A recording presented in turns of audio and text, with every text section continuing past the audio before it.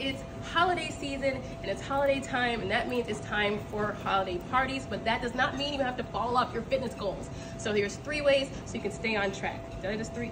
Bro man from the fifth floor? Okay, so number one, when you're getting ready for your events, do not skip meals throughout the day trying to save up your calories for later. Your body's not a weight loss calculator, and what happens is you're gonna arrive to your event, starving Marvin, gonna reach for everything in sight, and you're gonna naturally overeat. You don't wanna do that. Eat like normal throughout the day, so when you arrive to your event, you can enjoy your treats without just overindulging because you're starving. Number two, if you do have uh, that chance where you do overindulge, do not try to work out for extra hours the next day trying to work it off. Your body does not work like that.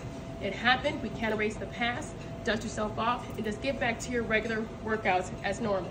And number three, which is kind of a bonus, if you're gonna enjoy your cocktails, like I like to, make sure you stay away from those sugary mixers, stay away from those juices, and try to drink things like club soda as your mixers, or tonics, or just straight alcohol on the rocks. Those sugars are what get you into trouble and cause you to reach for other fatty foods and things you would normally eat and make you overindulge later in the night. So enjoy your holiday season.